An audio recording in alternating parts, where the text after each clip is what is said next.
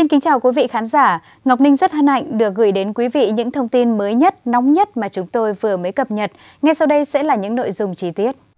Giá vàng tăng ngoài sức tưởng tượng sau phiên đấu thầu vàng. Ngân hàng nhà nước vừa thực hiện đấu thầu vàng miếng lần đầu tiên sau hơn một thập niên. Động thái này được kỳ vọng sẽ giúp hạ nhiệt thị trường. Thế nhưng sau phiên đấu thầu giá vàng tăng vọt, điều này tưởng chừng là câu nói đùa, nhưng thị trường lại không đùa bao giờ. Sau khoảng thời gian rất dài, giá vàng trong nước tăng mạnh và cao vượt trội so với vàng thế giới, từ đó gây ra nhiều rủi ro cho thị trường. Ngân hàng nhà nước cho biết sẽ thực hiện đấu thầu vàng miếng trở lại sau hơn một thập niên tạm dừng. Động thái này được kỳ vọng sẽ giúp hạ nhiệt thị trường, nhưng thực tế, giá vàng tăng ngoài sức tưởng tượng sau phiên đấu thầu vàng. Theo dự kiến, phiên đấu thầu đầu tiên được thực hiện trong ngày 22 tháng 4, tuy nhiên kế hoạch không thành công khi không đủ lượng thành viên đăng ký và đặt cọc. Phiên đấu thầu được chuyển sang ngày 23 tháng 4. Phiên đấu thầu diễn ra nhưng số lượng vàng bán rất thấp với chỉ hai người mua. Đáng chú ý sau khi phiên đấu thầu diễn ra, giá vàng SJC tăng vọt. Đà tăng mạnh còn được duy trì sang ngày 24 tháng 4. Cụ thể, trong sáng 24 tháng 4, giá vàng SJC tại công ty vàng bạc đá quý Sài Gòn SJC đang được giao dịch ở mức 81,8 triệu đồng một lượng đến 83,80 triệu đồng một lượng, tăng 800.000 đồng một lượng chiều mua vào và tăng 500.000 đồng một lượng chiều bán ra so với cuối ngày hôm qua. Như vậy, đấu thầu vàng xong, giá càng tăng cao. Giá vàng SJC tại công ty vàng bạc đá quý Bảo Tín Minh Châu đang được niêm yết ở mức 81,75 triệu đồng một lượng, 83,75 triệu đồng một lượng, tăng 450.000 đồng một lượng chiều mua và tăng 750.000 đồng một lượng ở chiều bán. Tại các nhà vàng còn lại, giá bán ra thấp hơn khá nhiều. Tập đoàn Doji đang niêm yết giá vàng SJC ở mức 81,5 triệu đồng một lượng, 83,5 triệu đồng một lượng. Giá vàng SJC tại công ty vàng bạc đá quý Phú Nhuận PNG được giao dịch ở mức 81 triệu đồng một lượng, 83,1 triệu đồng một lượng. Giá vàng nhẫn tròn trơn cũng đi lên đáng kể. Tại Bảo Tín Minh Châu, giá vàng rồng Thăng Long được điều chỉnh tăng 100.000 đồng một lượng ở cả chiều mua vào và bán ra, lên 73,68 triệu đồng một lượng, 75,38 triệu đồng một lượng. Giá vàng nhẫn tròn 4 số 9 Hưng Thịnh Vượng của Doji tăng 200.000 đồng một lượng, lên 73,95 triệu đồng một lượng, 75,6 triệu đồng một lượng. Trong khi đó, giá vàng PNG tại công ty PNG đứng im ở mức 73 triệu đồng một lượng, 74,8 triệu đồng một lượng. Giá vàng tăng ngoài sức tưởng tượng sau phiên đấu thầu và dường như thể hiện kỳ vọng giảm giá kim loại quý này chưa đạt được kết quả. Trở lại phiên đấu thầu, vàng bị ế như dư luận đặt tên, được biết giá trúng thầu cao nhất là 81,33 triệu đồng một lượng. Giá trúng thầu thấp nhất là 81,32 triệu đồng một lượng. Trong khi đó, giá tham chiếu để tính giá trị đặt cọc được ấn định là 80,7 triệu đồng một lượng, dù đã thấp hơn mức giá tham chiếu dự kiến áp dụng cho phiên đấu thầu vàng ngày 22 tháng 4 là 1,1 triệu đồng một lượng. Trước đó, giá tham chiếu để tính giá trị đặt cọc là 81,8 triệu đồng một lượng. Theo quy định của Ngân hàng Nhà nước, khối lượng đấu thầu tối thiểu một thành viên được phép đặt thầu là 14 lô tương đương 1.400 lượng, tối đa là 20 lô tương đương 2.000 lượng. Trên thực tế ở thời điểm này, rất ít doanh nghiệp dám ôm 1.400 đến 2.000 lượng vàng. Lãnh đạo một ngân hàng thương mại cổ phần cho biết, ngân hàng từ chối tham gia phiên đấu thầu vàng miếng của ngân hàng nhà nước vì biên lợi nhuận rất thấp, chỉ khoảng 20.000 đồng một chỉ nên ngân hàng không muốn đầu tư vào vàng. Mức đặt thầu tối thiểu này là quá cao so với nhu cầu thị trường hiện nay. Theo tính toán, nhu cầu tiêu thụ vàng miếng SJC bình quân của toàn thị trường khoảng 200 đến 300 lượng một ngày. Ngày cao điểm ghi nhận mức bán 400 lượng gần như cao nhất kể từ đầu năm nay. Với sức tiêu thụ này, đặt cọc mua ngay 1.400 lượng vàng miếng thì không biết bao giờ mới bán hết. Trong khi đó, hầu hết doanh nghiệp kinh doanh vàng đều tuân thủ nguyên tắc mua bao nhiêu, bán bấy nhiêu bởi giá vàng tăng giảm liên tục. Do đó, việc trữ một khối lượng vàng giá cao trong bối cảnh giá vàng thế giới biến động là rất rủi ro.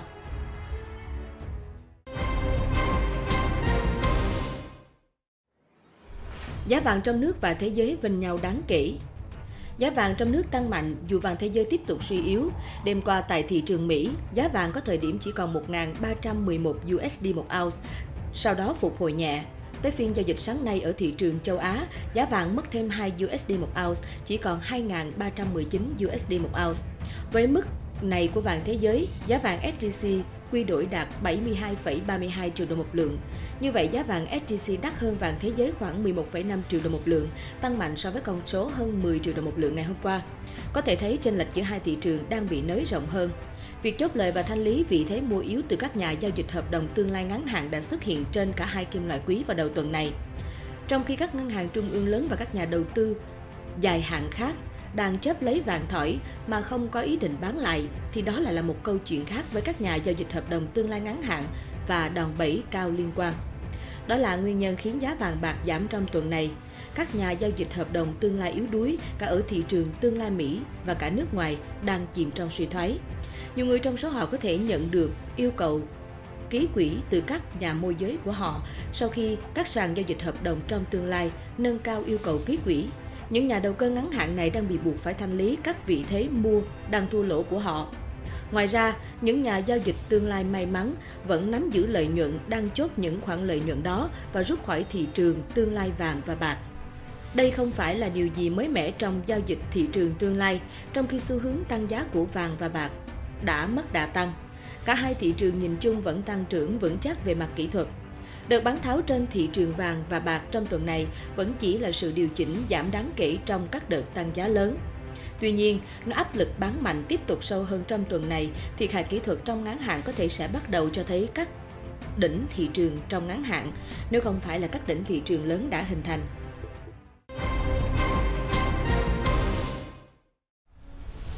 Đấu thầu vàng không phải thuốc chữa bách bệnh. Kết thúc phiên đấu thầu vàng của Ngân hàng Nhà nước tổ chức sáng 23 tháng 4, chỉ có hai thành viên trúng thầu và tổng khối lượng vàng trúng thầu là 3.400 lượng. Cả con số đơn vị doanh nghiệp trúng thầu lẫn khối lượng vàng được bán đều thấp hơn so với con số dự kiến trước đó nhiều lần. Đấu thầu được kỳ vọng là phương pháp để tăng nguồn cung vào trong nước, từ đó thu hẹp khoảng cách chênh lệch với giá vàng thế giới và tiến tới bình ổn thị trường vàng, dường như đã bị phản tác dụng. Ngay ở phiên đấu thầu đầu tiên, ngày 23 tháng 4, minh chứng rõ nhất là sau khi công bố kết quả đấu thầu, giá vàng trong nước đã tăng bật trở lại, dù giá vàng thế giới có xu hướng giảm nhẹ. Bởi hiện nay, chúng ta không thể biết được nhu cầu vàng của người dân đang cần là bao nhiêu vì không có khảo sát định lượng. Chưa kể, còn có thể gây ra hiệu ứng ngược vì nếu ngân hàng nhà nước cứ tiếp tục tung vàng ra thị trường, vô hình chung sẽ khiến nhiều người dân đổ xô đang đi mua vàng để đầu cơ. Tái diễn vàng hóa kinh tế nếu kéo dài đấu thầu vàng chắc chắn sẽ gây bất ổn cho nền kinh tế và gây nên nhiều hệ lụy khác. Khi ngân hàng nhà nước tung vàng ra thị trường bằng hình thức đấu thầu thì buộc phải sử dụng quỹ dự trữ ngoại hối quốc gia, trong khi quỹ chỉ còn khoảng 80 đến 90 tỷ USD. Do đó, nếu tiếp tục biện pháp này thì quỹ dự trữ ngoại hối quốc gia sẽ dần suy giảm, từ đó ảnh hưởng tới vấn đề điều hành tỷ giá nói riêng và an ninh tiền tệ nói chung. Đơn cử thời gian qua, chúng ta có thể thấy vấn đề điều hành tỷ giá đang rất nóng, chênh lệch tỷ giá Việt Nam đồng USD đến nay rất lớn. Trên thế giới, giá đồng USD neo ở mức cao và Cục Dự trữ Liên bang Mỹ có thể sẽ lùi kế hoạch hạ lãi suất. Sức ép tỷ giá đang đe dọa đến khu vực nhập khẩu của Việt Nam và hiện có rất nhiều doanh nghiệp nhập khẩu đang phải kêu cứu. Tóm lại, để thị trường giá vàng trong nước tiến sát hơn với giá vàng thế giới thì không chỉ có một biện pháp đấu thầu vàng mà cần phải rất nhiều biện pháp tổng hòa, hỗ trợ nhau. Chẳng hạn, có thể phát triển thêm loại hình vàng tài khoản, vàng kỳ hạn thay vì vàng vật chất như hiện nay để đáp ứng nhu cầu thị trường. Dù ngân hàng nhà nước đã có rất nhiều kinh nghiệm trong phương pháp đấu thầu vàng từ năm 2013, song cũng cần lưu ý rằng bối cảnh hiện nay khác với 11 năm trước rất nhiều. Những thông tin vừa rồi cũng đã khép lại chương trình của chúng tôi. Cảm ơn các bạn đã quan tâm theo dõi và đừng quên chúng tôi luôn cập nhật rất nhiều thông tin bổ ích tới tất cả các khung giờ trong ngày. Xin kính chào và hẹn gặp lại.